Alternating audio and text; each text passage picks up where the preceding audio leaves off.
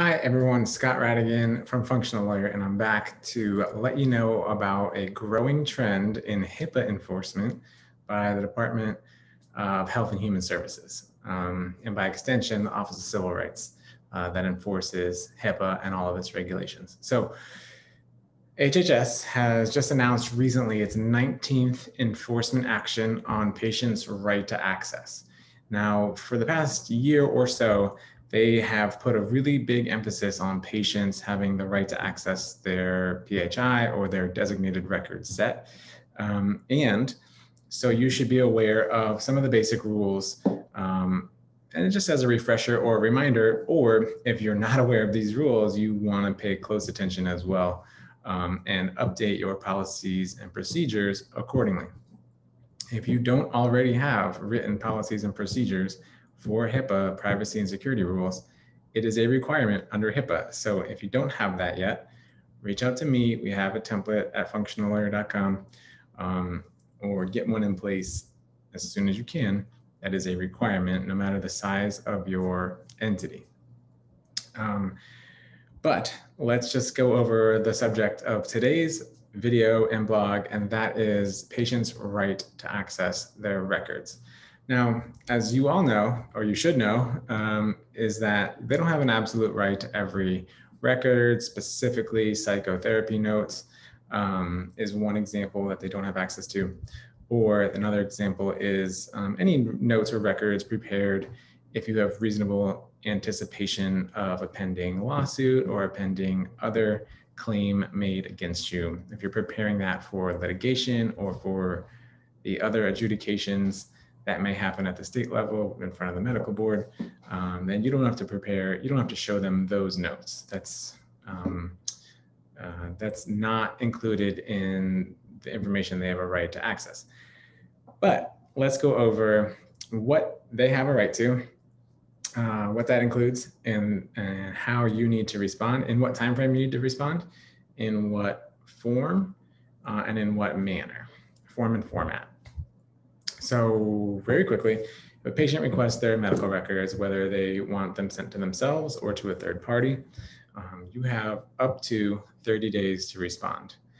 Um, now, HHS and the rules state that 30 days is the upper limit. Ideally, you'll respond as soon as you can, reasonably do it. And they even say that if you have an EMR or EHR, that you should respond as soon as possible, almost immediately. Um, so, but that being said, you have up to 30 days um, to respond. If you know that it's going to take you longer than 30 days, you should reach out to the patient and tell them, hey, we're storing that at an offsite storage facility. It's going to take two weeks to get out there. And then we've got to sift through the boxes for a long time in case of older records. Um, then you reach out to them and let them know and there will be another 30 days there. So up to 60 days before you have to really give them some sort of a substantive response. But ideally, you will respond as soon as possible within, you know, two weeks, maybe sooner. Um, and if you can, do it as soon as you can so you don't forget or um, it doesn't fall off the back of your um, burners, basically. And all of a sudden it's day 31, right? It's a very easy mistake to make. And so just don't do it train your staff if you have them. Any requests for access need to be done promptly um, and responded to promptly uh, as, as much as possible. So um, they don't have an absolute right. You can deny their, their request. Um, you have to respond in writing. Um, if it's one of those um, examples I, I, said earlier. Um, but generally you're gonna, going to give them their PHI, uh, and that's basically their designated record set uh, according to the rules. Um, they have a right to request it in electronic form, in hard copy form, and electronic form can take uh, lots of different formats. So it can be PDF, it can be a CD or CD-ROM if you're old. Um, it can be a jump drive, a USB flash drive that has several different names, but another uh, portable storage device. They can request it via that. They can request PDF or MS Word um, or another word processor. Um, and if you have the ability to comply with that format, you should comply with that format. And if you can't, reach out to the patient and say, hey, we, we don't have access to that, or um, I don't even know where you buy writable CDs these days, or my computer can't write CDs because I don't even have a CD drive. Um, then you know you reach out to them and say, would you mind having a PDF? Would you mind logging into the portal and you can download everything right there? Um, so you there is some back and forth there, so long as the patient agrees. If you keep paper charts, they can request their PHI in electronic format. And if you have access to a scanner, uh, you are obligated to, to scan it if it's readily accessible to you. Uh, you're obligated to scan it and, and send it to them.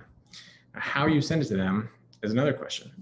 Um, ideally, you'd want to send it to them via an encrypted method, but lots of times patients request unencrypted methods. Um, so HHS actually says explicitly that patients have a right to request their PHI through unencrypted means, including the US mail and through electronic mail or email. Uh, if that's the case, particularly email, you want to let the patient know, hey, even though I pay for the HIPAA compliant version of Gmail or I pay for a third party encryption software to encrypt my email, and maybe you do as well, patient, um, but you should know that in transit, there is a security risk that it could be read by a third party or stored uh, by a third party that way. And if they say, yeah, that's great, then you can email it to them. And that is fine for HIPAA purposes so long as they consent. Now, there's a lot more to it than that, but just be just be aware that you know an average fine for this sort of thing is anywhere from five thousand dollars to twenty five thousand dollars on average for smaller companies. Um, just one, if someone makes a request for their records, respond promptly uh, and say, yes, we can honor your request. We'll get it to you by next week.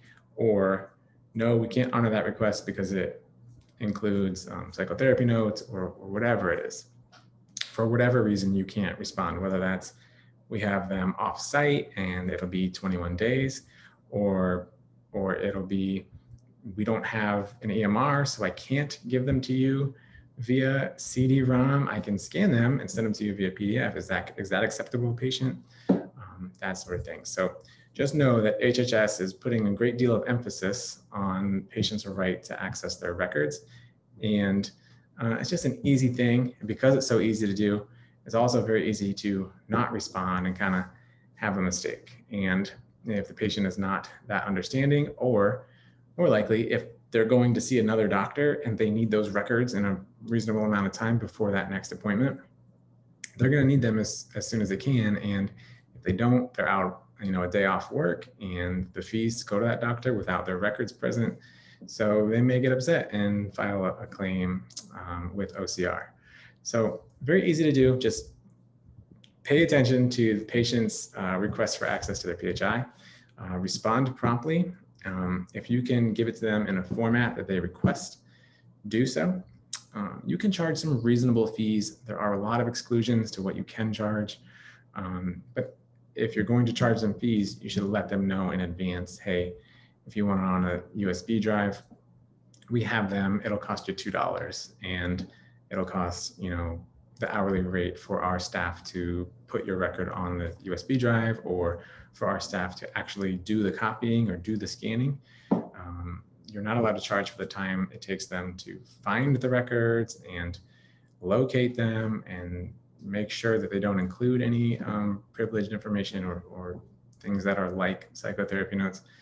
So there is some um, fine print there, uh, but let them know that if they request a CD-ROM version um, or writable CD, I don't even know what they're called anymore, um, that you know, if you'd like them to purchase it, that you just let them know in advance. Um, so again, just to recap, HHS is really focusing on this. So respond to patients' requests for access to their records promptly. If you can, give it to them in the format they request and in the form that they request. Um, and um, to the extent possible, get their consent for fees in advance. And if they request it via unencrypted means, also get their consent um, to send it to them via unencrypted means like email um, as well. And just know that HHS also um, explicitly states that email and postal mail are definitely readily producible for covered entities to do. So those are two things that you are allowed to do, um, but specifically for email, you want to let them know it's unencrypted. So pay attention to that. Avoid a bunch of headaches and, uh, and corrective action plans from OCR and HHS.